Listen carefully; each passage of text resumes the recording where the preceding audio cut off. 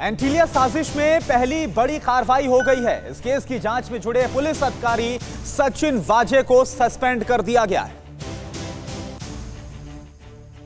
मुकेश अंबानी के घर के बाहर विस्फोटक भरी कार मामले में गिरफ़्तार पुलिस अफसर सचिन वाजे को सस्पेंड कर दिया गया है। कोर्ट के आदेश के बाद स्पेशल ब्रांच के एडिशनल सीपी ने assistant police inspector Sachin Waze को सस्पेंड किया। एनआईए की गिरफ्तारी से पहले सचिन वाजे को सीआईयू से हटाकर सीएफसी में ट्रांसफ़र किया गया था।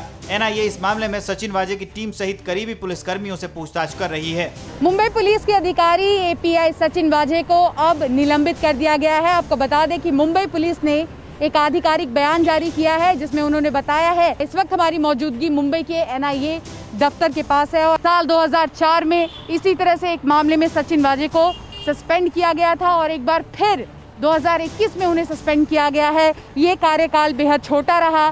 कोरोना काल में लॉकडाउन के दौरान उनकी नियुक्ति हुई और 25 मार्च तक के लिए वो एनआईए की रिमांड में है। साथ ही अब ये भी कहा जा रहा है कि उनकी टीम के कई लोगों से पूछताछ की जाएगी। साथ ही इस पूरे मामले में कई गिरफ्तारियाँ हो सकती है। फ़िक्र आपकी। सोमवार से शुक्रवार, रात 9 बजे, सिर्फ़ टीवी 9 भारतवर्ष पर।